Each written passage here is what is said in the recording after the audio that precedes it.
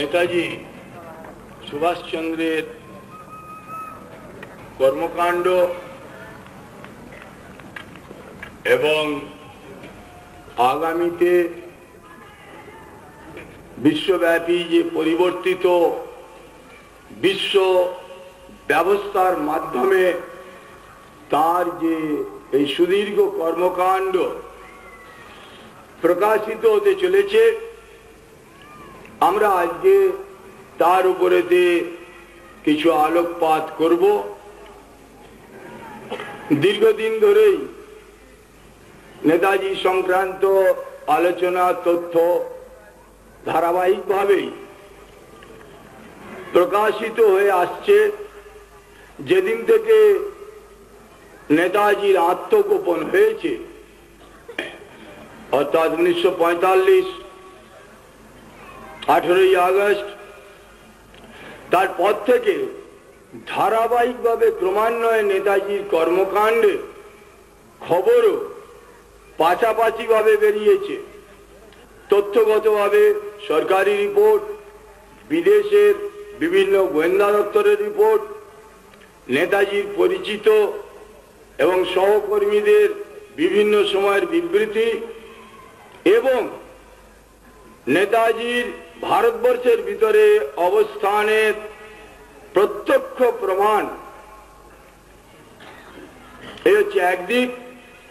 আর একদিকে এই অন্তর্ধানের সঙ্গে সঙ্গে আজ অব্দি নেতাজির আত্মপ্রকাশ তথা কর্মকাণ্ডের বিরোধিতায় ব্রিটেন আমেরিকা সাম্রাজ্যবাদের সঙ্গে তাল রেখে ভারতবর্ষের রাজনৈতিক নেতৃত্ব, ভারতবর্ষের দলীয় রাজনীতি যারা পাশাপাশি বিশ্বযুদ্ধের সময় থেকে তারও আগে থেকে নেতাজি সুভাষচন্দ্র তথা সশস্ত্র সংগ্রামের বিরোধিতা করে এসেছে, দেশ ভাগ করিয়েছে, নেতাজি সুভাষচন্দ্রকে মৃত ঘোষণা করে রাখবার চেষ্টা করেছে, স্বাধীনতা সংগ্রামের ইতিহাসকে বিকৃত করবার চেষ্টা করে চলেছে, তারও পাশাপাশি যে ইতিহাস দুটো ইতিহাস পাশাপাশি চলছে।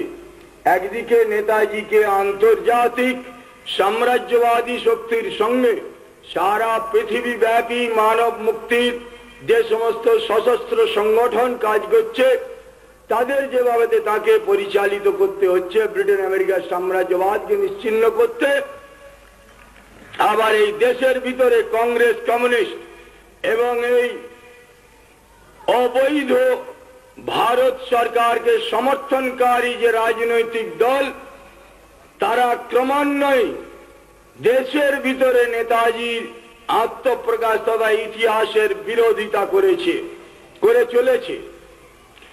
এই জায়গায় এসে আমাদের নেতাজির আত্মপ্রকাশের সমস্ত ঘটনাবলীকে বুঝতে হবে।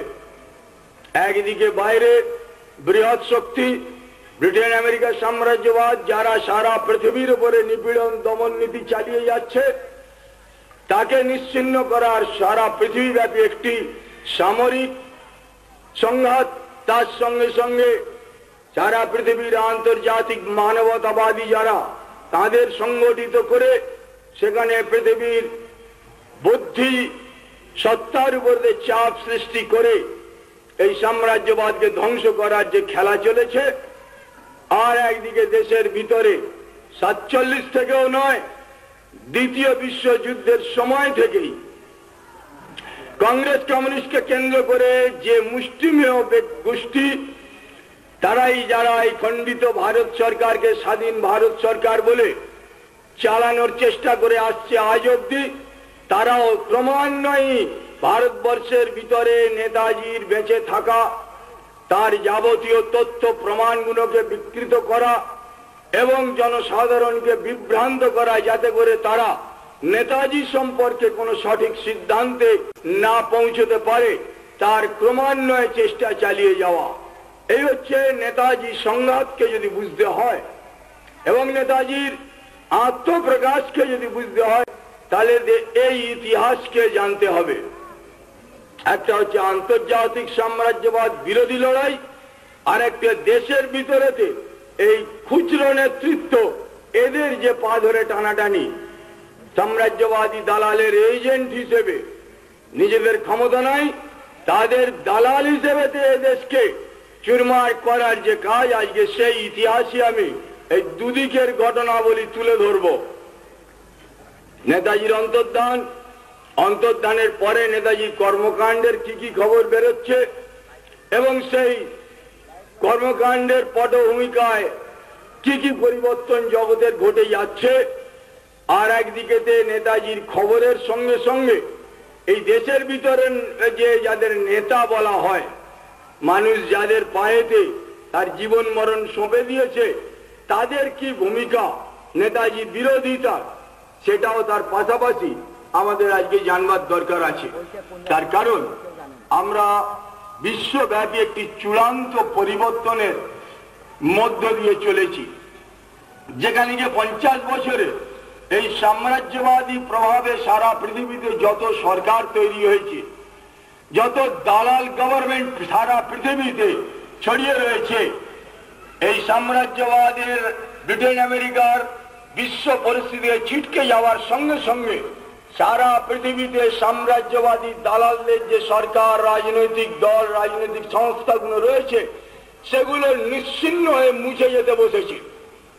এটি সামগ্রিক সারা পৃথিবীর মানব মুক্তি সংগ্রামে ছবি ফুটে উঠতে চলেছে। তো কাজেই আমাদের দেশের যে কুশীলভ পক্ষ বিপক্ষ কাদের কি চরিত্র তখন সেগুলো আগেই জেনে নেওয়ার যথেষ্ট প্রয়োজন রয়েছে। নেতাজি ভারতবর্ষের বাইরে গেছেন উনিশশো সালে। কলকাতা থেকে বেরিয়ে তিনি কাবুল হয়ে পৌঁছেছিলেন জার্মানিতে। দ্বিতীয় বিশ্বযুদ্ধ তখন শুরু হয়ে গেছে। এবং এই দ্বিতীয় বিশ্বযুদ্ধের কথা নেতাজি এই যুদ্ধ শুরু হওয়ার ন বছর আগেই ভারতবর্ষের মানুষকে জানিয়েছিলেন। উনিশশো সালে নেতাজি ইউরোপের বিভিন্ন রাষ্ট্রনায়ক এবং মনীষীদের সঙ্গে আলাপ করছিলেন, করেছিলেন। কয়েকবারই তিনি ইউরোপে যখন গেছিলেন, তিনি ইউরোপের চরিত্র জানবার চেষ্টা করেছেন। তিরিশে এসে নেতাজি এবার দেশের মানুষদের জানাচ্ছেন, সশস্ত্র সংগ্রামীদের নির্দেশ দিচ্ছেন যে আগামী দশ বছরের ভিতরে দ্বিতীয় বিশ্বযুদ্ধ শুরু হতে চলেছে। আমরা যেন এখন থেকেই ওই যুদ্ধের সুযোগ নেওয়ার জন্য তৈরি হই।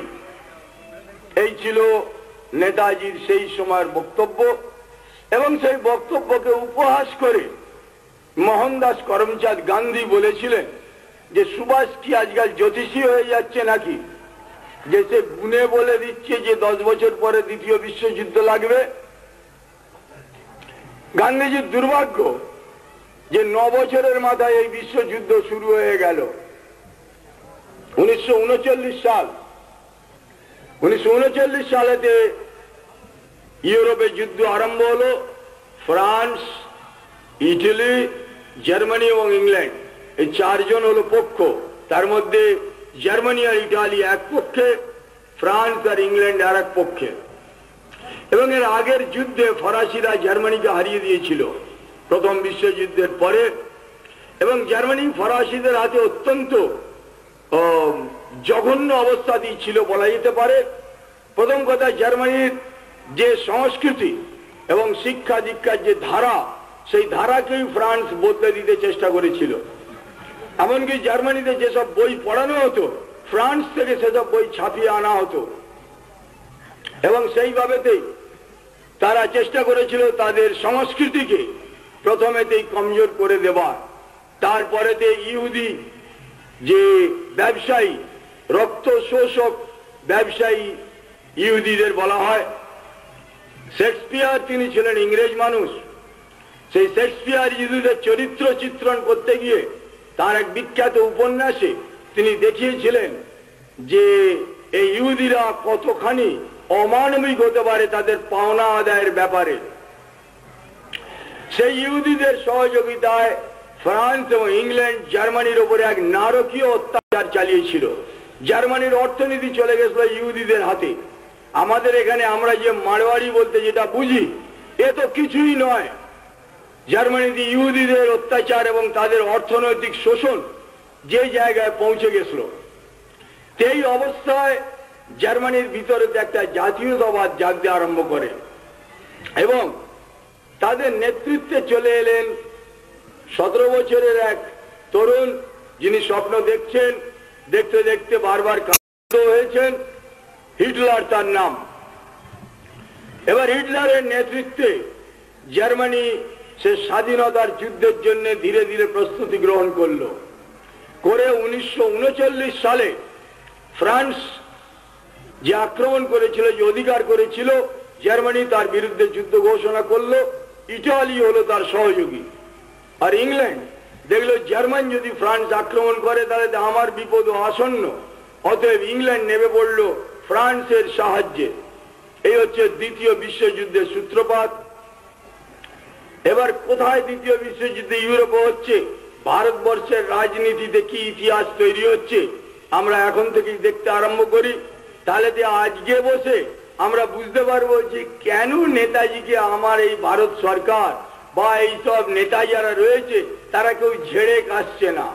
বরং সেখানে যে বারবারই ঘুরিয়ে ফিরিয়ে মরে গেছে, আর কি হবে? বয়স হয়ে গেছে, চামড়া কুচকে গেছে, চোখে দেখতে পাচ্ছে না। থাকলেই বা এসে কি করবে দেশের? এইসব কথা মানুষকে বলে যাচ্ছে। আর নিজেরা পঞ্চাশ বছর ধরে কি হেগেছে, মুতেছে, আর গায়ে মেঘেছে এ তো আর দেশের লোককে বলার কিছু নেই। এখন সেই গুয়ের গন্ধ থেকে আমরা কি করে বাঁচি? এখন এটি আমাদের চিন্তার ব্যাপার হয়ে গেছে। তো উনিশশো উনচল্লিশে দেখা যাচ্ছে যে ভারতীয় জাতীয় মহাসভা, ইংরাজিতে যেটাকে বলছে ন্যাশনাল কংগ্রেস। কংগ্রেস মানে হচ্ছে সম্মেলন। একটা সম্মেলন কনফারেন্সকে ইংরেজি নাম হচ্ছে কংগ্রেস। যেমন কমিউনিস্ট পার্টির পার্টি কংগ্রেস হয়, অমুক পলিট ব্যুরোর কংগ্রেস হয়, বিজ্ঞানীদের কংগ্রেস হয়। তো কংগ্রেস কথাটার মানে হচ্ছে সম্মেলন। তো জাতীয় মহাসভা, বাংলা করলে যেটা বোঝায়, সেটা হচ্ছে ন্যাশনাল কংগ্রেস বলতে যেটা বোঝায় জাতীয় মহাসভা। আর এখন কংগ্রেস বলতে একটা পার্টি বোঝাচ্ছে। কংগ্রেস ওই নাম দিয়ে একটা পার্টি করেছে। তো এই জাতীয় মহাসভা সেই সময় একটা প্ল্যাটফর্ম ছিল। যে কোনো লোক এর সদস্য হতে পারত, হয়ে সে আলাদা পার্টিও করতে পারত। তেই ছিল জাতীয় মহাসভার অবস্থান। উনিশশো আটত্রিশ সালে নেতাজি এই জাতীয় মহাসভার সভাপতি হয়েছিলেন। এবং সেই সময় জাতীয় মহাসভার সভাপতিকে বলা হতো রাষ্ট্রপতি। তার মানেতে অর্থাৎ জাতীয় মহাসভাই হচ্ছে দেশ পরিচালনা করার একটি সংস্থা হিসেবে তৈরি হচ্ছিল, একটি জাতীয় সংস্থা হিসেবে, কোনো পার্টি অর্গানাইজেশন হিসেবে নয়। আটত্রিশ সালে নেতাজি যখন সভাপতি হলেন, তখন গান্ধী এবং অন্যান্য যারা ছিলেন, তারা মূলত গান্ধী গ্রুপ তারা সমর্থন করেছিলেন, তাঁরাই মনোনীত করেছিলেন সুভাষ বোসকে আটত্রিশ সালেতে, যে জাতীয় কংগ্রেসের সভাপতি। উনচল্লিশ সালে যুদ্ধ আরম্ভ হয়ে গেল। এবার দেখা গেল যে নেতাজি আবার জাতীয় কংগ্রেসের সভাপতির পদেতে তিনি মনোনয়ন পেশ করলেন। এবার কিন্তু ছবিটা একদম উল্টো। গান্ধীজি তার বিরুদ্ধে প্রার্থী দাঁড় করাচ্ছেন। খুব মন দিয়ে ধাপে ধাপে চলবেন ইতিহাসের সঙ্গে সঙ্গে। গান্ধীজি প্রার্থী দিলেন, নেতাজির বিরুদ্ধে। প্রার্থীর নাম ছিল পট্টবী সীতারামাইয়া। পরবর্তীকালে যারা আরও কিছু জানতে চান, ওই পট্টবী সীতারামাইয়া নেতাজির সম্পর্কে কি লিখেছিলেন, কি প্রশস্তি করেছিলেন, সেটা তারা শুনবেন। তো পট্টবীকে গান্ধীজি নেতাজির বিরুদ্ধে দাঁড় করালেন। কিন্তু দেখা গেল যে ভোটেতে সেখানে নেতাজি বিপুল ভোটে জাতীয় কংগ্রেসের সভাপতি হয়ে গেলেন, অর্থাৎ গান্ধী পরাজিত হলেন।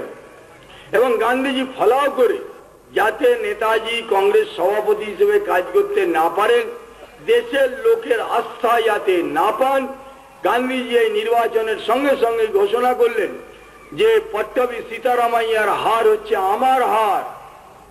দেখুন, অদ্ভুত কথা। একটা গণতান্ত্রিক প্রতিষ্ঠান, সেখানে নির্বাচন, ও হবে এটা মেনে নেওয়া হয়েছে। কিন্তু তাতে সেখানেতে কোন প্রার্থী হারলো, কে হারলো, গান্ধী, যিনি তখন কংগ্রেসের প্রাথমিক সদস্য পদ নিতে রাজি নন, তিনি বলছেন, আমি একজন জাতীয় নেতা, আমি কোনো প্রতিষ্ঠানের সদস্য হব না।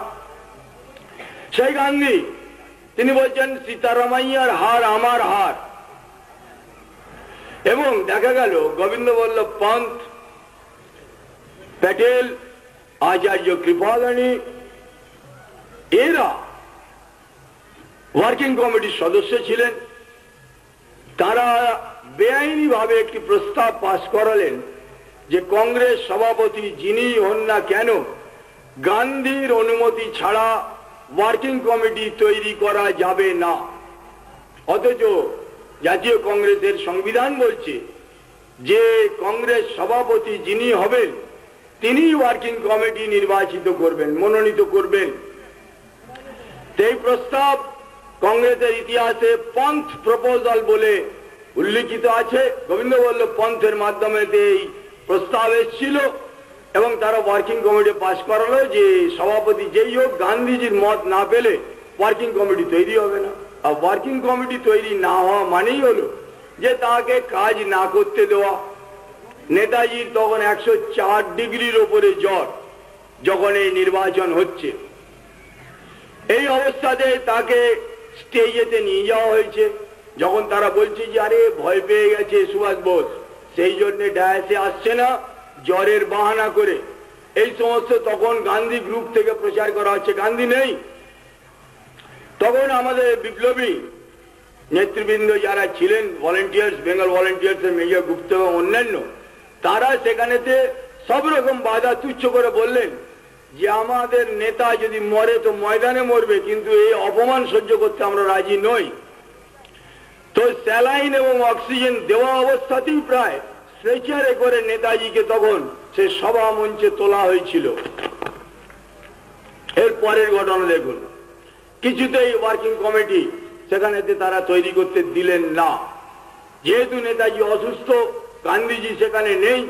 অতএব ওয়ার্কিং কমিটির কথা অনুযায়ী এবার শরৎ বোস, নেতাজির মেজদা, তিনি এবার গান্ধীজি কথা আছে খবর নিলেন যে অমুক গুজরাটের অমুক দেশীয় রাজ্যে তিনি কোন সমস্যার সমাধান করতে ব্যস্ত।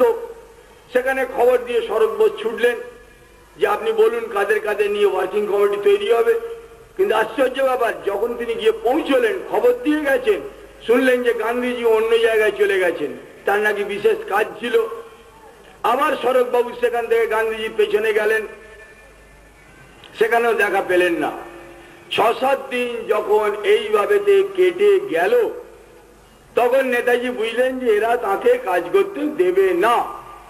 তখনই নেতাজি কংগ্রেস সভাপতির পদ থেকে পদত্যাগ করছেন। তার কারণ তিনি পদের জন্য সভাপতি হননি, তিনি কোনো বিশেষ কাজের জন্যই সভাপতি হতে চেয়েছিলেন। যখন দেখলেন যে সেই সুযোগ তিনি পেলেন না, তিনি পদত্যাগ করছেন। এইবারে দেখুন, নেতাজি পদত্যাগ করার সঙ্গে সঙ্গে যে গান্ধীজিকে খুঁজে পাওয়া যাচ্ছিল না, সেই গান্ধী এবারে এসে হাজির হয়ে গেলেন দিল্লিতে এবং পরবর্তী ওয়ার্কিং কমিটির বৈঠক বসছে বাংলায়। ওয়েলিংটন স্কোয়ার, এবার বাঙালি কংগ্রেসীদের চরিত্র দেখে নিন। এই, অবশ্য সেদিন বাঙালিরা একজোট হয়েছিল এবং সেদিন যদি নেতাজি না থাকতেন, তাহলে সেদিন গান্ধী বা ওই প্যাটেল পুটেল, ওই যেগুলো রয়েছে, এগুলোকে সেদিন পিঠে মেরে ফেলতো বাংলার লোকেরা। নেতাজি নিজে তাদের বাঁচিয়ে বিধানদার বাড়িতে ঢুকিয়ে দিয়েছিলেন।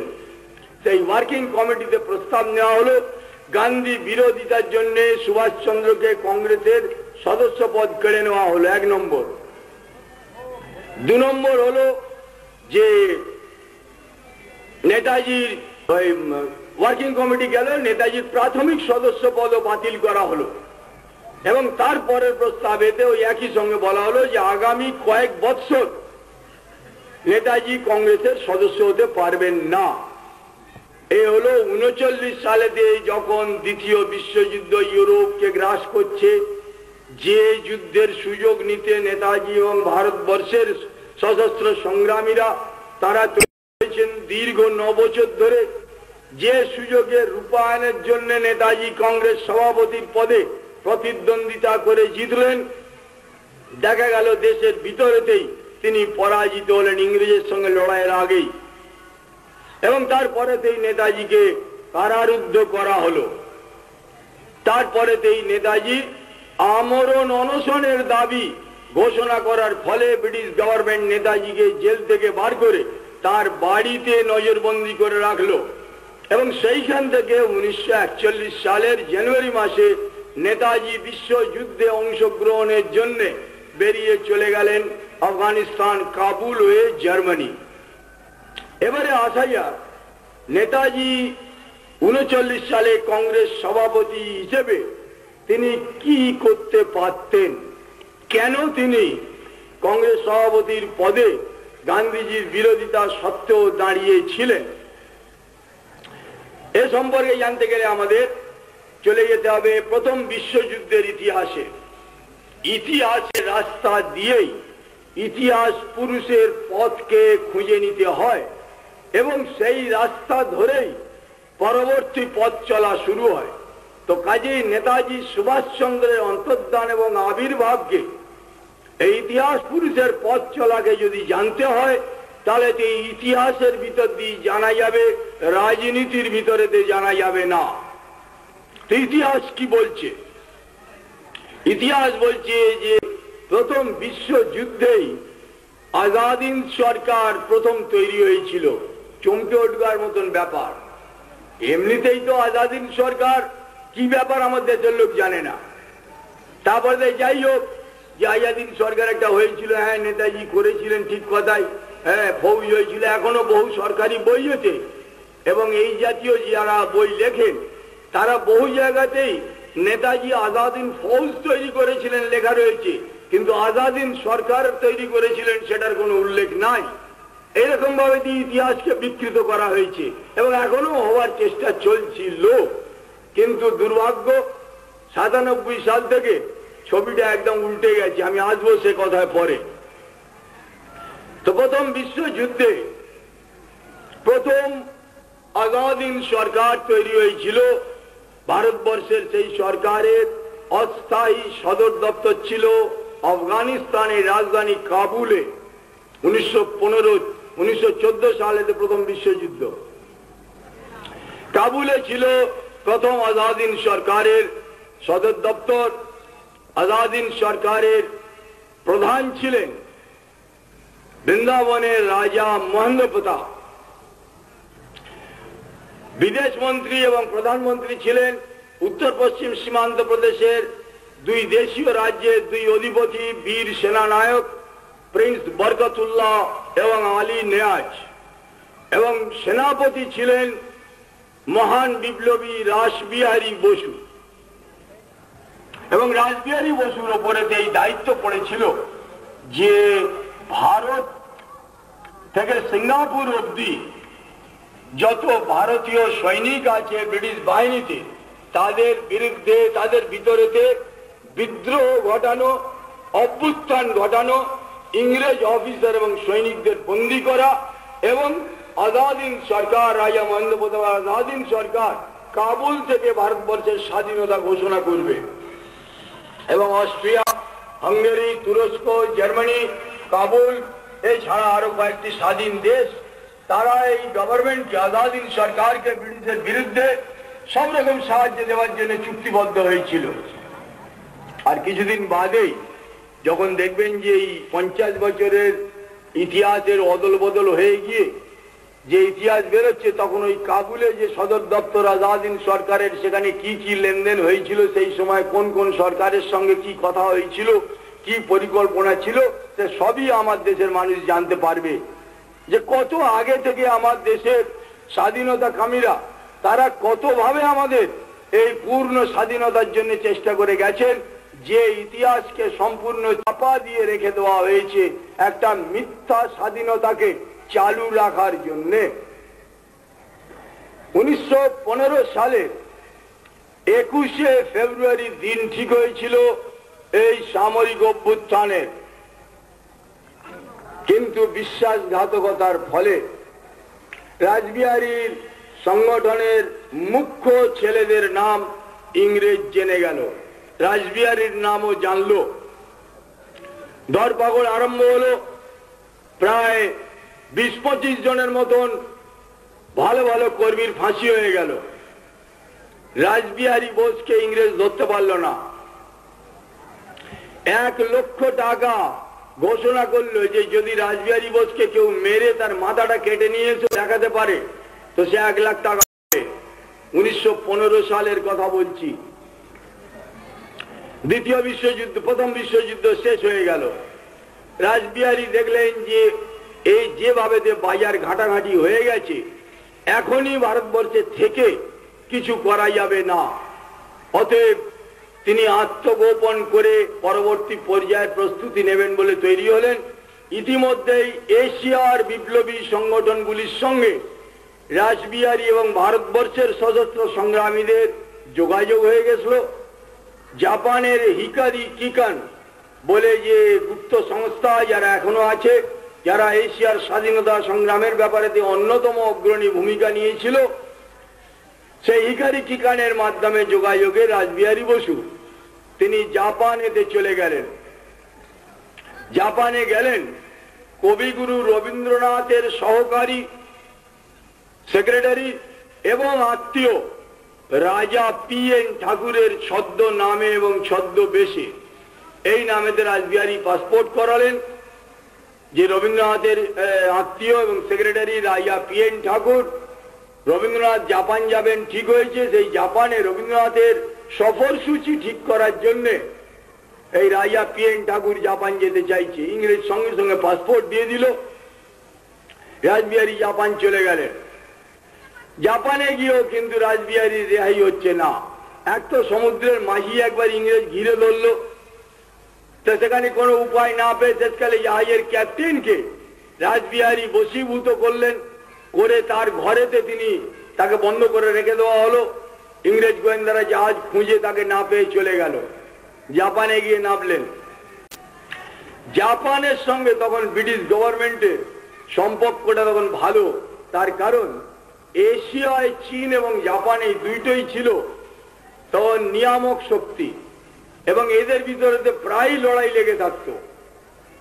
তো তখন চীনের সঙ্গে ইংরেজের সম্পর্ক খারাপ কাজী স্বাভাবিকভাবে জাপানের সঙ্গে তখন ইংরেজের সম্পর্ক ভালো। এই অবস্থায় জাপান ইংরেজের বিরুদ্ধে রাসবিহারী বোসকে সরকারিভাবে গ্রহণ করতে পারল না বা তাকে কোন রকম সহায়তা দিত অস্বীকার করল। সম্ভব হলো না তাদের পক্ষে। কিন্তু রাজবিহারীকে যদি জাপানে থাকতে হয়, তো জাপানের নাগরিকত্বের প্রয়োজন আছে। কি করে পাবে নাগরিকত্ব? কোনো উপায় নেই। তখন ওই হিকারি কিকান এবং এশীয় বন্ধু যারা ছিলেন জাপানে, তারা একটি আলোচনা করলেন। আলোচনা করে তারা স্থির করলেন, জাপানের নাগরিকত্ব পাওয়ার একটা সবচেয়ে সোজা উপায় হচ্ছে যে, যদি কোনো জাপানি মেয়ে বিয়ে করে কাউকে, সে যে দেশেরই হোক না কেন, তো সে বিয়ের সুবাদে সে জাপানের নাগরিক হয়ে যাবে। জাপানের নাগরিক না হলে রাসবিহারী জাপানে থাকতে পারবেন না, যেহেতু জাপান সরকার তাকে সমর্থন করছেন না। কিন্তু এক লক্ষ টাকা মৃত্যু মূল্য ঘোষণা হয়েছে যে বিপ্লবীর জন্য বিদেশি। তার জন্য জাপানের একটি মেয়ে কেন, সে তার জীবনকে জলাঞ্জলি দিতে যাবে। তো ইকারি কিকানের সহযোগী ছিলেন মিস্টার তোয়ামা। তিনিও এশীয় বিপ্লবী সংগঠনের সঙ্গে জড়িত, জাপানের একজন দেশপ্রেমিক মানুষ। তার বড় মেয়ের নাম ছিল তসিকো তারা স্থির করলেন যে তসিকোকে তারা জানাবেন ব্যাপারটা। তো রাসবিহারী তাদের পরিবারের বন্ধু, বিপ্লবী গোষ্ঠীর কয়েকজন তসিকো তারা সবাই রয়েছেন, গ্র্যাজুয়েট মেয়ে। তাকে বোঝানো হচ্ছে, দেখো তুমি যদি তোমার ইচ্ছার উপরে তুমি যদি বিয়ে করতে রাজি হও, তাহলে তো এই ব্যক্তির জীবন বাঁচা শুধু নয়, ভারতবর্ষের স্বাধীনতা যে ব্যাপারটা, সেই ব্যাপারটা পুরোপুরি নির্ভর করছে এনার উপরেই ভারতবর্ষ যদি স্বাধীন হয়, তাহলে অবশ্যই জাপান তাদের তার লাভবানই হবে। কাজে জাপানের স্বার্থের কথা ভেবে তুমি চিন্তা করে দেখো যে তুমি বিয়ে করবে কি না। এক মাস তাকে ভাববার জন্য বলেছিল যে এর মধ্যে তুমি মনস্থির করো। তসিকও রাজি হয়ে গেলেন। জাপানের লোকেদের স্বভাবই হচ্ছে তারা, যে কোনো কাজ যদি মনে করে যে এটা আমার দেশের পক্ষে মঙ্গলজনক, তাতে করে যদি আমাকে এক্ষুনি বিষ খেয়ে মরে যেতে হয়, কি আমার পেটে ছুরি ঢুকিয়ে আমাকে মরে যেতে হয়, তাতেও সে রাজি। এরকমই একটা দেশপ্রেমের পরিবেশই ছিল জাপানিদের ভিতরে, যদিও আমেরিকার সঙ্গে দ্বিতীয় বিশ্বযুদ্ধে পরাজয়ের পর আমেরিকান সংস্কৃতি বাধ্যতামূলকভাবে সাংস্কৃতিক অবনয়নের মাধ্যমে জাপানের এই দেশপ্রেমিক চরিত্রেও একটা ভালো অংশ আজ নষ্ট হয়ে গেছে এবং তাদের মধ্যে দেখা যাচ্ছে যে প্রধানমন্ত্রী অন্যান্য, তারা বড় বড় কোম্পানি থেকে ঘুষ নিচ্ছে। হ্যাঁ বিদেশে জিনিসপত্র কেনার ব্যাপারে এবং পর পর মন্ত্রী বদলাচ্ছে, পদত্যাগ হচ্ছে, ইত্যাদি ইত্যাদি। একের পর এক। কিন্তু তা বলে সবাই নয়। আমরা দেখলাম যে তানাকা বলে এর আগে জাপানের একজন প্রধানমন্ত্রী ছিলেন। যখন প্রমাণিত হলো যে তিনি একটি বিমান কোম্পানি থেকে ঘুষ নিয়েছেন বিদেশি বিমান কেনবার জন্যে, একজন জাপানি অভিনেতা, সে তার নিজস্ব দুই আসনযুক্ত বিমান নিয়ে জাপানি পার্লামেন্টের সামনের রাস্তায় গোত্তা খেয়ে সুইসাইড করছে। এবং সে নোট রেখে গেল যে জাপানের প্রধানমন্ত্রী ঘুষ নেয়, এ অপবাদ জানবার পর আমার আর বেঁচে থাকবার কোনো ইচ্ছে নেই। এ হচ্ছে জাপানি মানসিকতা। তো এর উপরে দাঁড়িয়ে রাজবিহারীকে বিয়ে করতে রাজি হয়ে গেল। বিয়ে হয়ে গেল, রাজবিহারী জাপানি নাগরিক হলেন। কিন্তু তখনও জাপান রাজনৈতিকভাবে রাজবিহারীকে কোনো সমর্থন করতে রাজি নয়। কেননা ইংরেজের সঙ্গে তার সম্পর্ক ভালো, ইংরেজের শত্রুকে জাপান কিছু করবে না। এবং ব্রিটিশ গভর্নমেন্ট যখন জানলো যে রাজবিহারী জাপানের নাগরিকত্ব গ্রহণ করেছেন এইভাবে, জাপান সরকার রাজবিহারীর বিরুদ্ধে যাবে না, কিন্তু কোন রকম সাহায্য দেবে না। পয়সা দিয়ে ভাড়াটে গুন্ডা ঠিক করল ব্রিটিশ গভর্নমেন্ট এখানে শ্রী অরবিন্দকেও ক্ষুদিরামদের মামলায় যখন ফাঁসাতে পারল না, তার কোনো তাকে ধরতে পারল না প্রমাণে, তখন অরবিন্দকেও গুন্ডা দিয়ে মারিয়ে দেওয়ার জন্য ব্রিটিশ সম্রাটের কাছ থেকে নির্দেশ এসেছিল। এবং সেই নির্দেশের খবর আমরা আগে থেকেই জানতে পাই। ভগিনী নিবেদিতা তখন শ্রী অরবিন্দের কাজের দায়িত্ব নিজে স্বীকার করে অরবিন্দকে পন্ডিচেরিতে চলে যেতে বাধ্য করলেন। ফরাসি অধিকৃত এলাকা এবং তারপরেতে ভগিনী নিবেদিতার যোগক্রমেই বাঘাযতীন এসছিলেন সেই সময় বাংলার বিপ্লববাদের নেতৃত্বে। এটা হচ্ছে ব্রিটিশ গভর্নমেন্টের চিরকালীন নীতি, যে এদিক দিয়ে না পারলে হত্যা করব, আজও রাজনীতিতে কেমন সেই একই জিনিস চালিয়ে রয়েছে। জওয়াল ভারতবর্ষের বহু ভালো ভালো মানুষকে খুন করিয়েছেন, তার থেকে বেশি মানুষকে খুন করিয়েছেন ইন্দিরা গান্ধী। এগুলো সবই আগামী দিনে। কেমন তার খবর হবে, তার লিস্ট হয়ে রয়েছে যে কীভাবে কীভাবে, কাকে, কোন ষড়যন্ত্রের দ্বারা মারা হয়েছিল। তো এগুলো পলিটিক্যাল কিলিং পৃথিবীর রাজত্ব এবং সাম্রাজ্যবাদ যেখানে যতদিন থাকবে, ততদিন অব্দি রাজনৈতিক হত্যা চালু থাকবে। এটাকে ধরেই নিতে হবে। তো রাজবিহারীকে আট বছরে সতেরো বার জাপানেতে বিভিন্ন পাড়ায় বাড়ি বদলাতে হয়েছিল এই গুন্ডাদের হাত থেকে বাঁচবার জন্য। রাজবিহারী নিজে তখনও জাপানি ভাষা আয়ত্ত করতে পারেননি। কাজী ওই তসিকোকে রাজবিহারীর ঢালের মতন তখন কাজ করতে হয়েছে এই দীর্ঘ আট বছর, উনিশশো পনেরো সাল থেকে উনিশশো তেইশ সাল অবধি। সতেরো বার বাড়ি বদলাতে হয়েছে জাপানের বিভিন্ন এলাকায়। উনিশশো তেইশ সালে গিয়ে অবস্থার পরিবর্তন ঘটল। চীনের সঙ্গে ব্রিটিশ গভর্নমেন্টের সম্পর্ক ভালো হলো, জাপানের সঙ্গে ব্রিটিশ গভর্নমেন্টের সম্পর্ক খারাপ হলো। এই তখন জাপান সরকার রাজবিহারী বোসকে সব রকম সাহায্যের কথা স্বীকার করে নিল এবং রাজবিহারী প্রকাশ্যে উনিশশো তেইশ সালে জাপান থেকে আরম্ভ করলেন তার ভারতবর্ষের স্বাধীনতা তথা এশিয়ার স্বাধীনতার ব্যাপারেতে প্রকাশ্য সক্রিয় কর্মকাণ্ড। এবং এই কর্মকাণ্ডের উপরে দাঁড়িয়েই প্রথমে তিনি দক্ষিণ পূর্ব এশিয়ার বত্রিশ লক্ষ ভারতীয়দের সংগঠিত করলেন। এবং সেই সংগঠনের উপরে দাঁড়িয়েই আজাদিন সরকার গঠনের প্রস্তাব গ্রহণ করা হয়। এবং সেই প্রস্তাবের উপরে দাঁড়িয়েই আজাদিন সরকার গঠিত হয়। এবং রাসবিহারী বসু নেতাজি সুভাষচন্দ্রকে জার্মানি থেকে আমন্ত্রণ জানালেন যে আপনি ওখান থেকে ভারতবর্ষে আসা আপনার পক্ষে অত্যন্ত দুঃসাধ্য হবে। এখন যুদ্ধ এশিয়ায় ছড়িয়ে পড়েছে। আপনি এশিয়ায় চলে আসুন। এশিয়াবাসী আপনার জন্য অপেক্ষা করছে। শুধু বত্রিশ লক্ষ ভারতীয়দের নিয়ে ভারতীয় স্বাধীনতা সংগ্রামী সংগঠন নয়, এশিয়ার পরাধীন জাতিদের নিয়ে এবং সমস্ত জাতিদের নিয়ে স্বাধীন এশিয়ার সংগঠন শুরু হয়ে গেল। উনিশশো এর প্রথম সম্মেলন হয়েছিল, যার সভাপতি ছিলেন রাসবিহারী বসু। ইন্দোনেশিয়ার রাজধানী বান্দুং শহরে এই সম্মেলন হয়েছিল। আজও কাগজে যখনই দেখবেন যে বান্দুং সম্মেলন হচ্ছে, বুঝবেন যে এটা গোটা এশিয়ার জাতিদের একটা সম্মেলন, ইন্দোনেশিয়ার রাজধানী। উনিশশো সালেও বান্দুং সম্মেলন হয়েছিল, তারও চেয়ারম্যান ছিলেন রাজবিহারী বসু। ছাব্বিশ বছর রাসবিহারী আত্মগোপন করে উনিশশো সালের দ্বিতীয় মহাযুদ্ধে জাপানকে দিয়ে ব্রিটেন এবং আমেরিকার বিরুদ্ধে এশিয়ার মুক্তি সংগ্রাম ঘোষণা করালেন।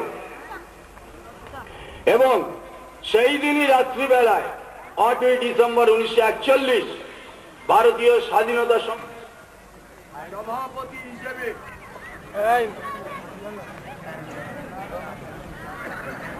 সংঘের সভাপতি রূপে রাসবিহারী বসু ভারতবর্ষের স্বাধীনতার যুদ্ধ ঘোষণা করলেন।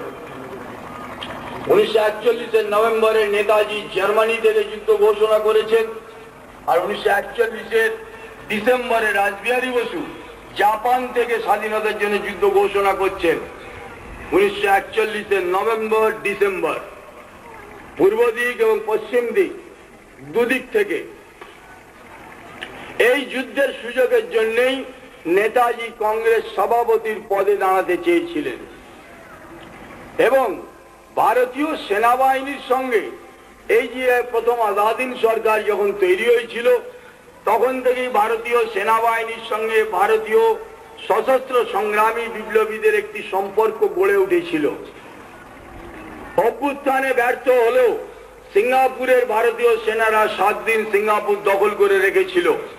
এবং আমরা দেখব দ্বিতীয় বিশ্বযুদ্ধে এই সিঙ্গাপুরেই হলো দ্বিতীয় এবং অস্থায়ী আজাদিন সরকারের প্রথম প্রকাশ্য হেডকোয়ার্টার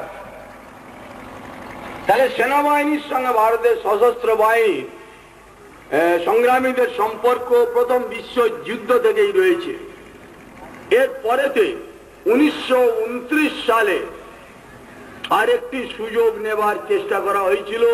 সামরিক বাহিনীকে সেখানে এই স্বাধীনতা সংগ্রামেতে জড়িয়ে দেওয়ার জন্য। সেটি কি হয়েছিল উনিশশো উনত্রিশে? এই যে জাতীয় কংগ্রেস, যার কথা বলছিলাম, এরা জীবনে কোনোদিন পূর্ণ স্বাধীনতার প্রস্তাব নেয়নি চাইনি পূর্ণ স্বাধীনতা। এদের প্রথম দিককার বেশ কিছু সম্মেলনের প্রথম সিদ্ধান্ত থাকতই যে আমরা ব্রিটিশ রাজত্বের প্রতি অনুগত থাকিব।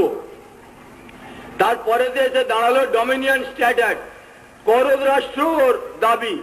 এবং সাতচল্লিশে যে দেশ ভাগ করে যে সরকার চলছে, এটি হচ্ছে একটি করদ রাষ্ট্র। এটি কোনো স্বাধীন রাষ্ট্র নয়। এবং এটাই কংগ্রেস বরাবর চেয়ে এসেছিল। কিন্তু দেশবন্ধু চিত্তরঞ্জন যখন কংগ্রেস নেতৃত্বে ছিলেন, তখন সশস্ত্র সংগ্রামীদের সঙ্গে তার একটা বোঝাপড়া হয়েছিল। তারাও কংগ্রেস সংগঠনের ভিতরে যেমন নিজেদের সম্পর্ক বাড়াচ্ছিল, আর সেরকম উপযুক্ত সময়তে আঘাত হানবার জন্য তৈরিও হচ্ছিল। তাদের সঙ্গী করে নিয়ে নেতাজি সুভাষচন্দ্র যখন রাজবিহারী যখন দেশবন্ধু মারা গেছেন পঁচিশে, উনিশশো পঁচিশ, গান্ধীজি এবার তার খদ্দরের দলবলগুলো নিয়ে ঢুকে আপসকামিতা শুরু করছেন। সেই সময় উনিশশো আঠাশ সালে নেতাজি সামরিক বেশে সাদা ঘোড়ায় চড়ে কলকাতায় পাঁচ হাজার ছেলে মেয়েদের ভলেন্টিয়ার্স রুট মার্চ পরিচালনা করলেন। নিখুঁত সামরিক শিক্ষা। সারা ভারতবর্ষের ছেলেরা এসে তাদের চোখে একটা স্বপ্ন রেখে গেল যে আগামী একটি সামরিক অভিযান এবং অভ্যুত্থানের। এবং এর পরেই ভারতবর্ষের গ্রামে, গঞ্জে, জেলায় জেলায় ভলেন্টিয়ার্স মুভমেন্ট আরম্ভ হয়ে গেল। ছেলেরা একসঙ্গে মিলে অ্যাটেনশন বিশ্রাম উইক মার্চ সামরিক অনুশাসন এই চলল লেফট রাইট উনিশশো উনত্রিশ ওয়ার্কিং কমিটিতে জওহরলালকে সভাপতি করে সর্বাত্মক স্বাধীনতা প্রস্তাব গ্রহণ করিয়ে ফেলা হলো। টোটাল ইন্ডিপেন্ডেন্স জাতীয় কংগ্রেসের ইতিহাসেতে এই একবারই সর্বাত্মক স্বাধীনতার প্রস্তাব তারা গ্রহণ করেছিল। এবং গ্রহণের পরেই এবারে নেতাজি সেই প্রস্তাব নিয়ে গান্ধীজির সঙ্গে দেখা করতে গেলেন যে, বাবুজি, একটা জাতীয় মহাসভা যখন সর্বাত্মক স্বাধীনতার কথা ঘোষণা করে তারপরেতেই তাকে একটি বিকল্প সরকার ঘোষণা করতে হয়। অর্থাৎ ইংরেজ সরকারকে আমরা মানলাম না। আমাদের সরকার এই। আপনি বলুন, কাদের কাদের নিয়ে এই জাতীয় সরকার তৈরি হবে? গান্ধীজি তো প্রচণ্ড রেগে গেলেন। এবং তিনি কিছুতেই এতে রাজি নন। এমনকি যখন বড়লাট তাকে ডেকে পাঠিয়েছে, তখন গান্ধীজি তাকে বলছেন, লিখিত আছে যে, আরে, এগুলো হচ্ছে একটা কাগজে ব্যাপার। এসব ছেলে ছোকরারা কাগজে, তারা ওইরকম গরম গরম প্রস্তাব একটা পাস করিয়েছে। এ কি সম্ভব নাকি যে একটা গভর্নমেন্ট তারা চালাবে? এই আরম্ভ হয়ে গেল। আরম্ভ হয়ে যাওয়ার পরে যখন গান্ধীজি রাজি হলেন না, ব্রিটিশ গভর্নমেন্ট কিন্তু এদের যাবতীয় খবরাখবর শেষ অব্দি দেখল। দেখে ব্রিটিশ গভর্নমেন্ট খবর পেল যে এরা একটি সামরিক এবং বৈপ্লবিক অভ্যুত্থানের জন্য চেষ্টা করছে। তখনই গান্ধীজির সঙ্গে পরামর্শে লবণের ওপরেতে ট্যাক্স বসানোর কথা ঘোষণা করছে। ইংরেজ ঘোষণা করছে যে নুন বিক্রি করতে গিয়ে সেখানে তাকে খাজনা দিতে হবে। একদিন অব্দি সমুদ্রের জল বা নোনা নদীর জল থেকে যে লবণ তৈরি হতো, কেমন সেই লবণ বিক্রির ওপরে কোনো খাজনা ছিল না। এবার সেই লবণের ওপরে ইংরেজ খাজনা ঘোষণা করছে এবং খাজনা ঘোষণার সঙ্গে সঙ্গে গান্ধীজি একক আন্দোলন আরম্ভ করছেন। একক আন্দোলন। লবণ সত্যাগ্রহ এবারে আর কংগ্রেসকে তিনি আহ্বান করেননি। এই লবণ সত্যাগ্রহে। কি সত্যাগ্রহ না ওখান থেকে তিনি কয়েকশো মাইল হেঁটে সমুদ্রের ধারে যাবেন এবং সমুদ্রের ধারে গিয়ে নুন তৈরি করে তিনি বিক্রি করবেন, ইংরেজ তাকে গ্রেপ্তার করবে। এ হচ্ছে লবণ সত্যাগ্রহ বা ডান্ডি অভিযান। গান্ধীজি যখন এই আন্দোলন করছেন, তখন দেশের লোক তো তারা তৈরি হয়েই রয়েছে।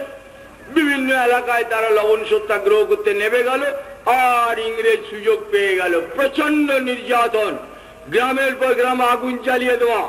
লাঠি চার্জ করিয়ে সেখানে পঙ্গু করে দেওয়া। এই আরম্ভ হয়ে গেল লবণ সত্যাগ্রহ নাবেতে। আর বিকল্প সরকার ঘোষণা করেই সেই সময় সামরিক বাহিনীকে এই বিকল্প সরকারের কাছে আনুগত্যের আহ্বান জানাতেন তারা। এবং সেনাবাহিনী সেই আনুগত্যে সাড়া দিত। কিন্তু সেটি হলো না। আন্দোলন ভেঙে গেল তিরিশে। এর পরেতে উনিশশো উনচল্লিশে যখন নেতাজি এবার রাষ্ট্রপতি হিসেবেতে তিনি তৈরি হচ্ছেন, রাষ্ট্রপতি হিসাবে তৈরি হচ্ছেন সশস্ত্র সংগ্রামীদের সঙ্গে সেনাবাহিনী বোঝাপড়া সম্পূর্ণ, যে তাদের আহ্বানে ব্রিটিশ সেনাবাহিনী ভারতবর্ষের ভিতরেতেই ইংরেজের প্রতি তার আনুগত্য প্রত্যাহার করে তারা জাতীয় কংগ্রেসের প্রতি আনুগত্য ঘোষণা করবে। এই ছিল পরিকল্পনা। দেশের ভিতর থেকেই এই যুদ্ধ চালিয়ে যুদ্ধ হবার আর কি ছিল। যেখানে সেনাবাহিনী উল্টে গেছে, সেখানে ইংরেজ চলে যেতে বাধ্য হতো। কিন্তু হলো না। নেতাজিকে দেশ ছেড়ে বেরিয়ে যেতে হলো। এবং এ সম্পর্কে গান্ধী এবং ইংরেজের বোঝাপড়া সম্পর্কে বক্তব্য রেখেছেন। পরবর্তীকালে আর একজন কংগ্রেসী নেতা, যার নাম হচ্ছে কে এম মুন্সি। এককালের নাম করা কংগ্রেসী নেতা। কে এম মুন্সি পরবর্তীকালে জানাচ্ছেন যে, ব্রিটিশ গভর্নমেন্ট আমার মাধ্যমে গান্ধীজির কাছে একটি নির্দেশ পাঠিয়েছিল। তাতে বলা হয়েছিল যে, ব্রিটিশ গভর্নমেন্টের কাছে খবর আছে যে, সুভাষ বোস বিদেশি কিছু রাষ্ট্রের সঙ্গে অস্ত্র চুক্তি করেছে। অতএব গান্ধীজিকে দেখতে হবে যাতে সুভাষ বোস কংগ্রেসের ভিতর থেকে কোনো সুযোগ না পায়। এবং এই নির্দেশের উপরে দাঁড়িয়েই কংগ্রেস সভাপতি থেকে পদত্যাগ, প্রাথমিক সদস্য পদ না করতে দেওয়া ইত্যাদি ইত্যাদি হলো। তখন নেতাজি বেরিয়ে গেলেন বাইরে। এবার যুদ্ধ চলছে। তো নেতাজি তো যুদ্ধে ইউরোপে গিয়ে যখন জার্মানির সঙ্গে, তার সঙ্গে চুক্তি হলো, লড়াই আরম্ভ করছেন। এবং উনিশশো বিয়াল্লিশে যখন হঠাৎ জার্মানি রুশ আক্রমণ করে বসে রইল, নেতাজির সঙ্গে সঙ্গে তিনি তার প্রতিক্রিয়া ব্যক্ত করছেন। তখন তিনি ইটালির রাজধানী রোমেতে নেতাজি তার প্রতিক্রিয়া বলছেন রাশিয়া আক্রমণ, এই যে জার্মানি যে রাশিয়া আক্রমণ করেছে, এর সঙ্গে ভারতের, ভারতীয়দের আজাদিনদের কোনো সম্পর্ক নাই। আমরা জার্মানির সঙ্গে কেবল ব্রিটিশের বিরুদ্ধে যুদ্ধের জন্যই চুক্তিবদ্ধ। বরং এই যুদ্ধে আমাদের সহানুভূতি, অর্থাৎ ভারতীয়দের সহানুভূতি রুশীয়দের প্রতি রইল। এই কথা নেতাজি বলছেন, জার্মানি আক্রমণ, জার্মানি রুশ আক্রমণের সঙ্গে সঙ্গে। নেতাজিকে গ্রেপ্তার করার জন্য ফাইল পাঠালো জার্মান গোয়েন্দারা। গেস্টাপোরা যে এরকম ভাবে নেতাজি আপনার সাহায্যে, আমাদের সাহায্যে এখানে এই সমস্ত কাজ করছেন, অথচ তিনি আমাদের বিরুদ্ধেই এই সমস্ত বক্তব্য রাখছেন। আর নেতাজি খালি এই বিবৃতি দিয়েই চুপ থাকেননি, তিনি হিটলারকে সঙ্গে সঙ্গে জানালেন যে, দেখো, তুমি একটা মারাত্মক ভুল করলে। এই যে ডবল ফ্রন্ট করে ফেললে, তোমার দুটো শত্রুকে তুমি এক জায়গায় করে দিলে এর ফলে যে তোমাকে হারতে হবে। এবং তখন থেকে এই নেতাজি জাপানে আসবার জন্য হিটলারের ওপরেতে তখন চাপ সৃষ্টি করেন। যে আমাকে জাপান পাঠাবার ব্যবস্থা করো, রাজবিহারী জানিয়েছে, জাপান গভর্নমেন্ট তারা জার্মান সরকারকে বলেছে যে আমাদের মহামান্য অতিথি চন্দ্র বোসকে আপনারা আমাদের এখানে পাঠিয়ে দেওয়ার ব্যবস্থা করুন। অবশেষে তাই ঠিক হলো যে মাত্র শতকরা পাঁচ ভাগ হয়তো সম্ভাবনা বেঁচে পৌঁছানোর দুটো সমুদ্রের তলা দিয়ে যেতে হবে। সময় লাগবে নব্বই, একশো দিনের মতন। তাও একটা সাবমেরিন যাবে না। মাই রাস্তা আবার জাপান, সে সেখানে জার্মান সাবমেরিনকে ঢুকতে দেবে না। অতএব জার্মান সাবমেরিনে করে কিছুটা গিয়ে সেখান থেকে আবার জাপানি সাবমেরিনে তাকে উঠতে হবে। আর সবচেয়ে বড় বিস্ময়কর যেটা এখনও রয়ে গেছে যে সাবমেরিন, তার যে পেট্রোল লাগবে, তার যে হাওয়া লাগবে, তার যে খাবার লাগবে এ তো আর শব্দ তার ভিতরে ধরবে না, তখনকার দিনে সাবমেরিন তো ছোট্ট একটা বাক্সর মতন। তো এই যে নব্বই দিন যে সাবমেরিন চলল, চুরানব্বই দিন লেগেছিল নেতাজি, চুরানব্বই দিন কোথায় কোথায় সাবমেরিন দাঁড়িয়েছিল, কোথায় তেল নিয়েছিল, কোথায় খাবার নিয়েছিল, তার কিন্তু কোনো হিসেব কোনো খবরই নেই। তো যাই হোক ভবিষ্যতে হয়তো আরও বিচিত্র তথ্য বেরোতে পারে এ সম্পর্কে। তারপরে যথাসময় নেতাজি চুরানব্বই দিন বাদে জাপানে এসে পৌঁছলেন। উনিশশো তেতাল্লিশের গোড়ার দিকে। এবং রাসবিহারী বসু তখন সেখানে ষাট হাজার ভারতীয় সৈন্য যারা জাপানের হাতে বন্দী হয়েছিল ইংরেজের সঙ্গে লড়াই করতে, তাদের তুলে দিলেন নেতাজির হাতে। নেতাজি এক হাজার ভারতীয় মেয়েদের নিয়ে প্রশিক্ষণ আরম্ভ করলে ঝাঁসির রানী বাহিনী। তারপরে উনিশশো তেতাল্লিশ সালের একুশে অক্টোবর যুদ্ধ ঘোষণা করলেন। এবং উনিশশো সালের ফেব্রুয়ারি মাসেই বার্মা থেকে আজাদিন ফৌজ ঢুকে পড়ল ভারতবর্ষের ভিতরে। উনিশশো চুয়াল্লিশের ফেব্রুয়ারি ঢুকে এর ভিতরেতে। কিন্তু জার্মানি ডবল ফ্রন্ট আক্রমণের পর নেতাজি জাপানে এলেও, নেতাজি জানতেন যে জাপানকেও একদিন পরাজয় স্বীকার করতে হবে। তার কারণ জার্মানি হেরে যাবার সঙ্গে সঙ্গেই ব্রিটেন, আমেরিকা এবং ইউরোপিয়ান শক্তি তাদের সমস্ত সৈন্যবাহিনী তখন এশিয়ার ওপর এনে ফেলবে এবং জাপানের পক্ষে একক ক্ষমতায় তখন এই লড়াই করা যাবে না। তাহলে যে নেতাজি কি করবেন? তখন থেকেই নেতাজি তার আগামী পরিকল্পনা, অর্থাৎ জাপান আত্মসমর্পণ করলে তার ভূমিকা কি হবে? এবং ব্রিটিশ আমেরিকার সঙ্গে তিনি কোন রাস্তায় মোকাবিলা করবেন ভারতবর্ষ তথা এশিয়ার স্বাধীনতার জন্য? তখন থেকেই তার পরিকল্পনা হয়ে রয়েছে। তাই আমরা দেখব, যুদ্ধ চলাকালীন অবস্থাতেই নেতাজি মাঞ্চুরিয়া থেকে উড়ে চলে গেলেন রাশিয়ায় মস্কো। মস্কো স্ট্যালিনের সঙ্গে তার আগেও দেখা হয়েছিল একবার। এবারে তো দেখা করে এবার স্ট্যালিনকে তিনি বোঝালেন যে দ্বিতীয় বিশ্বযুদ্ধ শেষ হয়ে গেলে ব্রিটেন, আমেরিকা, ফ্রান্স তোমার বন্ধু থাকবে না। আজকে জার্মানির ধাক্কায় সেখানেতে বন্ধুত্ব হয়েছে। কিন্তু তোমার সমাজতান্ত্রিক দেশ হিসেবেতে ব্রিটেন, আমেরিকা, ফ্রান্স, তোমায় মানবে না। তখন তোমাকে যদি টিকে থাকতে হয়, তোমায় যদি বেঁচে থাকতে হয়, তাহলে এশিয়ার সাহায্য তোমার প্রয়োজন। তার কারণ রাশিয়ার অর্ধেকের বেশিটাই হচ্ছে এশিয়ার সঙ্গে যুক্ত, কিছুটা ইউরোপিয়ান অংশ।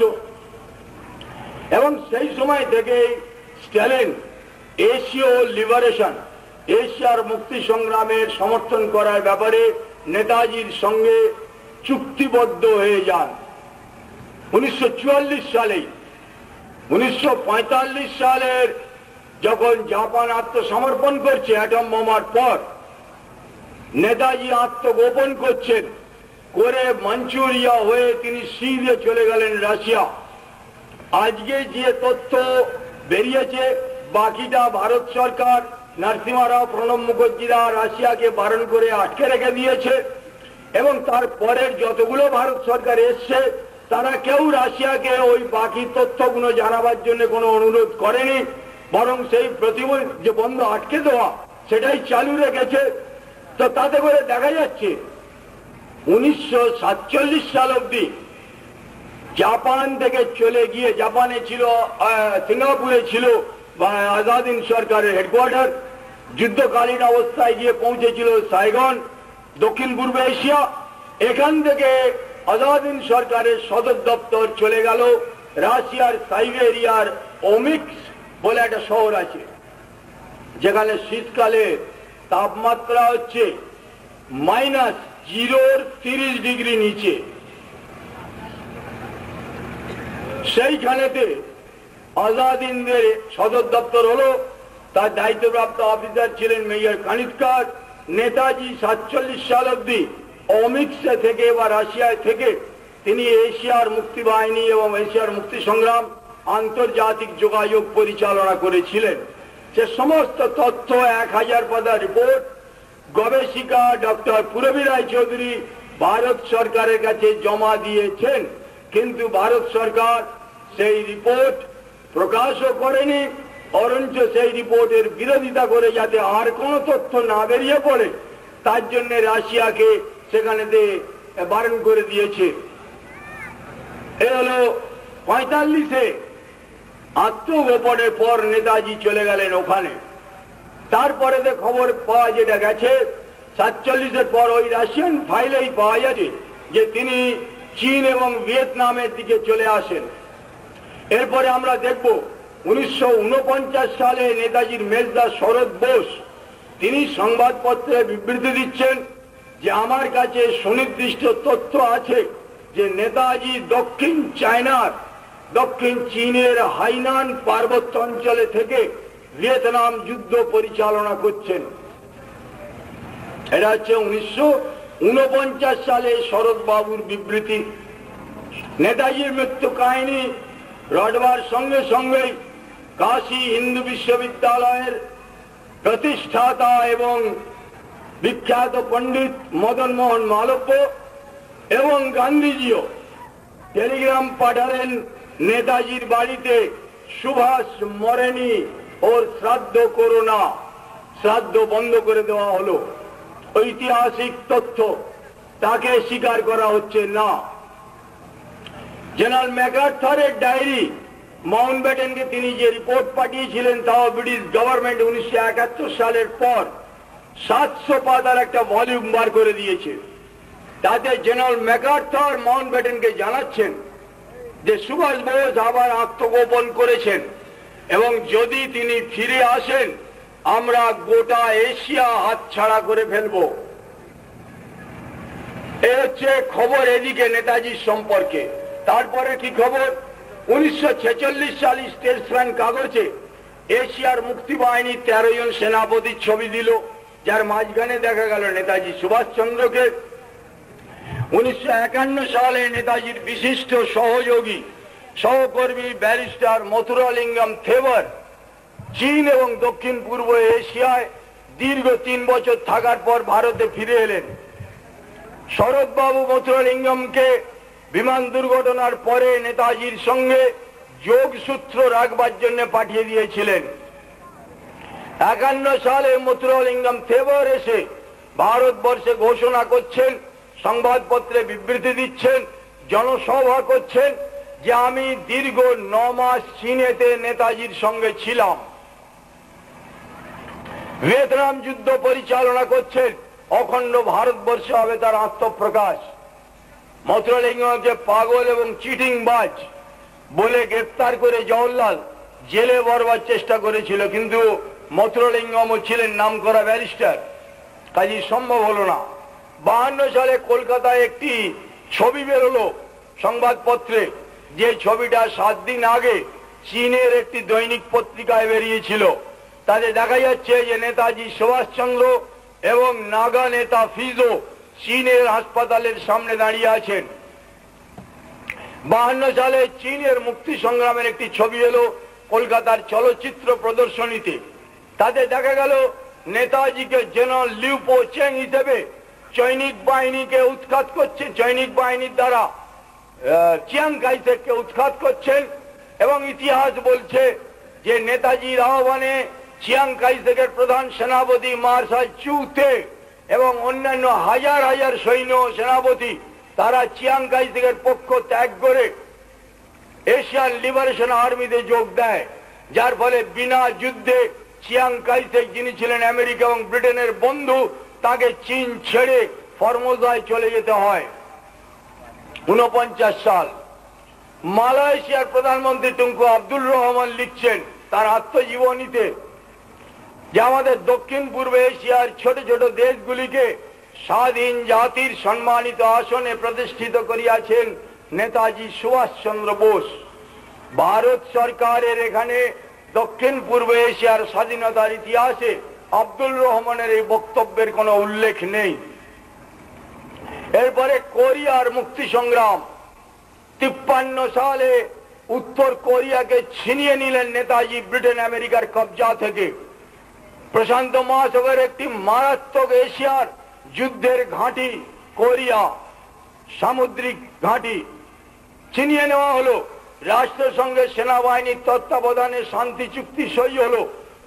সেখানে উপস্থিত ছিলেন সেই সময় ভারতবর্ষের প্রধান সেনাপতি জেনারেল থিমায়া। থিমায়া তার আত্মজীবনীতে লিখছেন যে, নেতাজি সুভাষচন্দ্রের উপস্থিতিতে উনিশশো তিপ্পান্ন সালে কোরিয়ার শান্তি চুক্তি সই হয়েছে।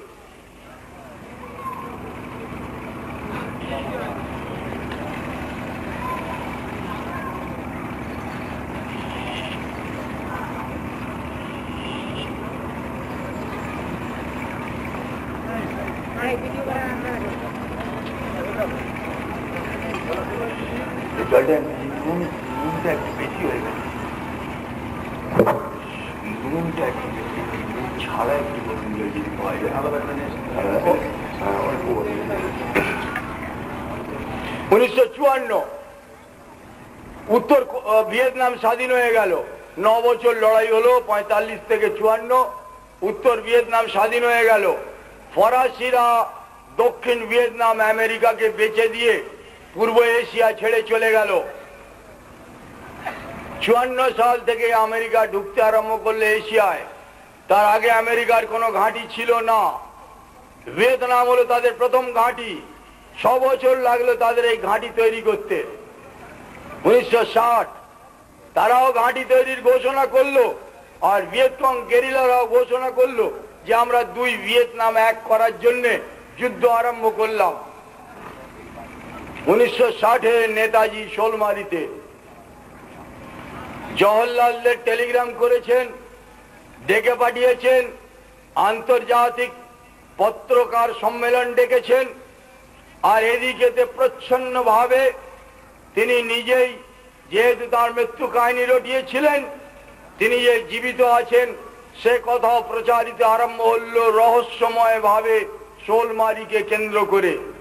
হাজারে হাজারে লাখে লাখে মানুষ ভারতবর্ষের বিভিন্ন কোণা থেকে শোলমারিতে নেতাজির দর্শন পাওয়ার জন্য আসতে আরম্ভ করল। মেয়র সত্যগুপ্ত, উত্তম চাঁদ মালহোত্রা, পণ্ডিত জ্যোতিশঙ্কর দীক্ষিত, মেয়র গোপাল স্বামী, নেতাজির বিশিষ্ট লাল কোট্টা নেতা মৌলানা আকবর খান এরা শোলমারি সাধু নেতাজি প্রচারে নেমেছিলেন। ব্যতিক্রম জওহরলাল নেহরু এবং রাজনৈতিক দলের নেতারা। পরিচিতদের টেলিগ্রাম করেছিলেন, কেউ যায়নি। সেখানে মারবার জন্য লোক পাঠানো হয়েছিল পাঞ্জাব পুলিশের ক্যাডার কে কে ভান্ডারি।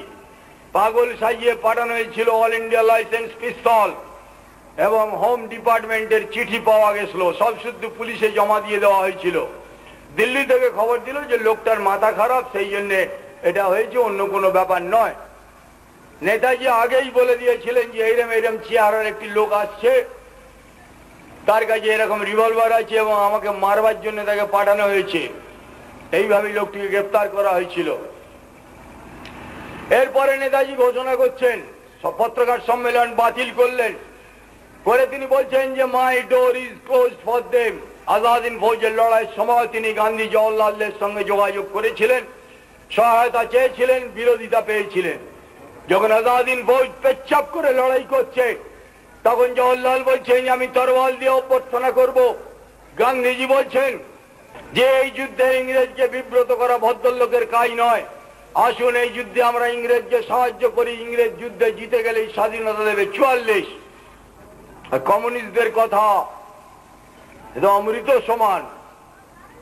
তারা তো নেতাজিকে জাপানের কুত্তা বানিয়েছে, গাধা বানিয়েছে, এ তো করেইছে। ইংরেজের যুদ্ধকে জনযুদ্ধ বলেছে, তা তো বলেইছে। তার থেকেও বড় অপরাধ, জঘন্য অপরাধী অপরাধী এই কমিউনিস্টরা। তখন একটা কমিউনিস্ট পার্টি ছিল, শিউরে উঠবে।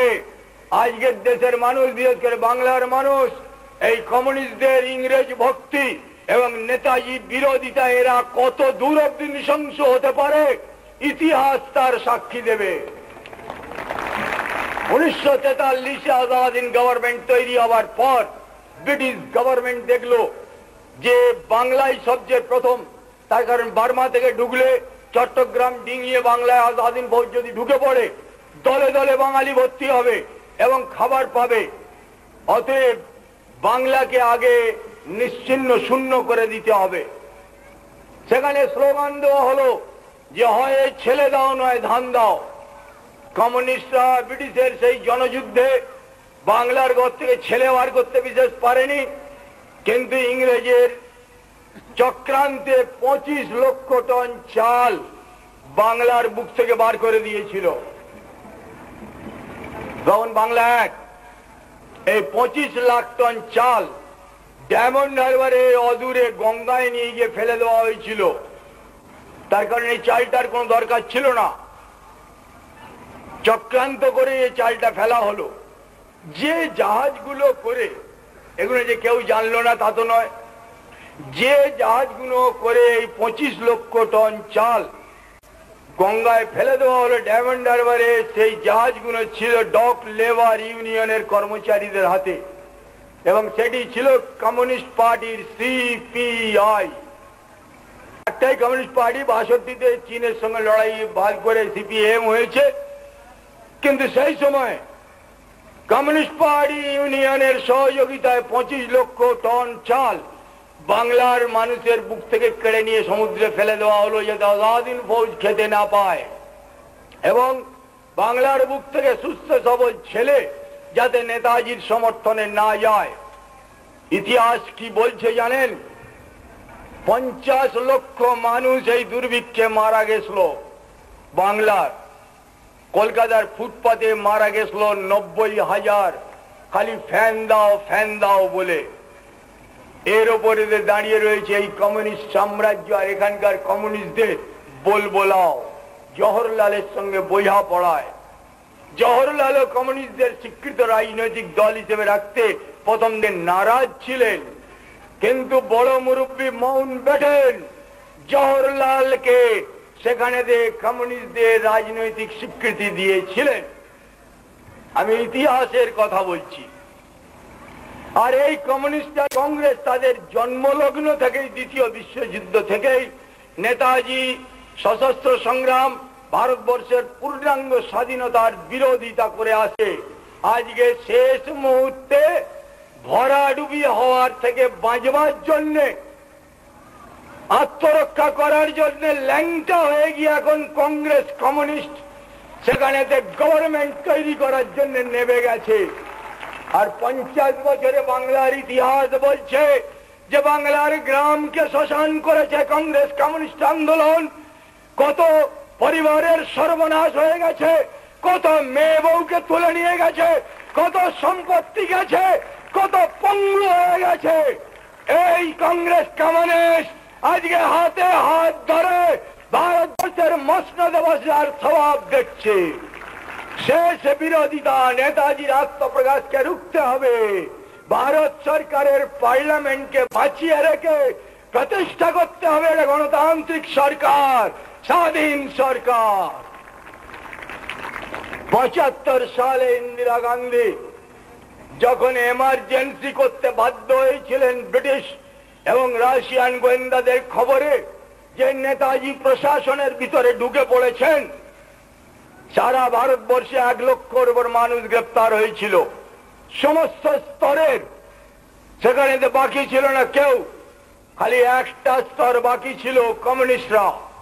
কোন কমিউনিস্ট নেতৃত্ব জরুরি অবস্থায় গ্রেপ্তার হয়নি এবং জরুরি অবস্থা জারি করার আগে ইন্দিরা গান্ধীর সঙ্গে জ্যোতি বোসের যে বৈঠক হয়েছিল, এ তো খবরের কাগজ বলে দেবে। কেন জরুরি হয়েছিল? এখন অব্দি অনেকেই জানে না। আমি ইতিহাসটা তুলে ধরছি। ভিয়েতনামের সঙ্গে যখন যুদ্ধ ধাপে ধাপে এগিয়ে যাচ্ছে ষাট সালেতে যখন নেতাজি সোলমারি থেকে তার আত্মপরিচিতি প্রতিষ্ঠা করছেন জওহরলালরা যখন তাকে মারবার জন্য লোক পাঠাচ্ছে, তখনই নেতাজি বলছেন যে, আমি তোমাদের সরকার ফেলবার কোনো চেষ্টা করব না। বাট ডে উইল কাম একটা দিন আসবে যেদিন তোমাদের এই সরকার থাকতে পারবে না। সেদিন কোটি কোটি ভারতবাসীর যে অবস্থা হবে, তার জন্য আমাকে এখন থেকেই আলাদাভাবে চলতে হবে। সোলমারি থেকেই নেতাজি তার নীতি সম্পূর্ণভাবে ঘোষণা করে দিয়েছিলেন। এরপরে দেখব উনিশশো একষট্টি সোলমারির জবাব না দিতে পেরে জওহরলাল নেতাজির মেয়ে আমদানি করছেন দিল্লিতে। অবৈধ সন্তান নেতাজি বিয়ে থা করেননি, একটি মহিলার সঙ্গে নাকি সম্পর্কিত হয়ে এই মেয়েটি জন্মেছে। এবং সেই মেয়েটির সঙ্গে বসু পরিবারের কোনো সম্পর্ক নেই। ভারতবর্ষের প্রধানমন্ত্রী জওহরলাল নেহরু দিল্লিতে আমন্ত্রণ করে পরিচয় করিয়ে দিচ্ছেন ভারতবাসীকে, যিনি হচ্ছেন সুভাষ বোসের মেয়ে। এবং এই হচ্ছে, এইভাবে সে জন্মেছে। এবার শিশির বোসকে কলকাতা থেকে ডেকে নিয়ে যাওয়া হলো, যে জওহরলালের কথাই তার মানা। অতএব বোস পরিবারের লোক চাই। শিশির বোসের সঙ্গে বোঝাপড়া হলো অনেক কিছু। শিশির বোস মেয়েটিকে কাঁধে করে কলকাতায় নিয়ে এসে বসু পরিবারতে ঢোকাতে গেলেন। তো তার নিজের পরিবার ছাড়া আর কেউ তাদের রাজি হলো না। তখন মেয়র গুপ্ত এবং বেঙ্গল ভলেন্টিয়ার্স এর তরফ থেকে একটা নাম ঠিকানা দিয়ে বেঙ্গল ভলেন্টিয়ার্স এর নামে পোস্টার দিয়ে ওই অ্যানিটা ব্রিগেডের পরিচয় প্রকাশ করে দেওয়া হলো। যে ওর পাসপোর্ট এতে লেখা রয়েছে যে ওর নাম অ্যানিটা ব্রিজেড ওর বাপের নাম কর্নেল পি ব্রিজেড সুভাষ বোসের মেয়ে কি করে হয়? তাহলে এইবারে দেখো জওহরলাল নেহরু ভারতের প্রধানমন্ত্রী মহামানব শান্তির দূত পায়রা নিয়ে ঘোরে। বুকে লাল গোলাপ। সেই জওহরলাল নেহরু তার আর একদিকের চরিত্র যেমন এদিকে রয়েছে, যে মানুষটা যে কাজ করে সে তার মতনই করে। তো পৃথিবীতে রাষ্ট্রনায়কের মধ্যে যদি বড় লম্পট বলে, সেখানেতে গবেষণা হয়, তো তার এক নম্বরে আসবে জওহরলাল নেহরু।